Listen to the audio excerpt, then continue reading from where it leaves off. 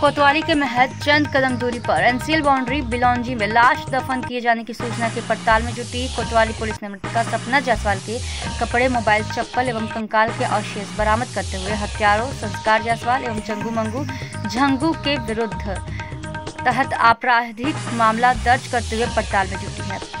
SPT के विद्यार्थी के निर्देशन पर टीआई अरुण पांडे के नेतृत्व में गठित पुलिस टीम द्वारा मृतका के कपड़े, चप्पल, मोबाइल की जब्ती बनाते हुए शेष कार्रवाई की प्रक्रिया की जा रही है। उल्लेखनीय है कि मंगलवार दोपहर घटना में शामिल संदेहियों के खुलासे के बाद एसपीटी के विद्यार्थी स्वयं संज्ञान में लेते हुए शहर कोतवाल अरुण पांडे को जिम्मेदारियाँ दी थी, जिसमें पूछताछ करते हुए मंगलवार को घटनास्थल चिन्हित किए जाने उपरांत बुधवार, गुरुवार दोपहर एनसीएल बाउंड्री में दफनाई गई युवती का शव।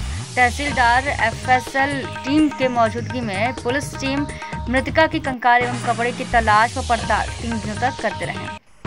बताया जा रहा है कि मृतिका सपना जायसवाल एवं मुख्य आरोपी बेसंस्कार जायसवाल के बीच नाजायज संबंध थे और इसी बीच मृतिका गर्भवती हो गई और शादी करने का दबाव बना रही थी। उधर आरोपी छुटकारा पाने के प्रयास में 6 नौ दो की रात जन्मदिन मनाने के लिए बहला फुसलाकर एनसीएल बाउंड्री ले गया, जहाँ पर अपने दो तीन नाबालिग साथियों के साथ मिलकर गला दबाकर हत्या कर दिया।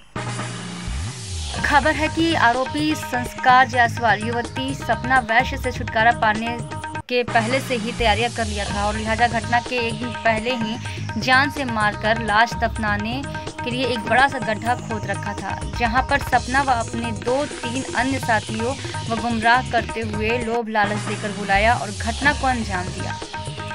कोतवाली क्यों नहीं गए आरोपी?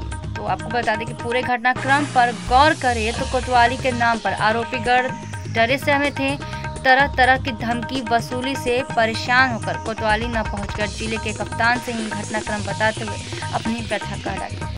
सिंगरौली से हमारे संवाददाता अजीत पांडे की रिपोर्ट।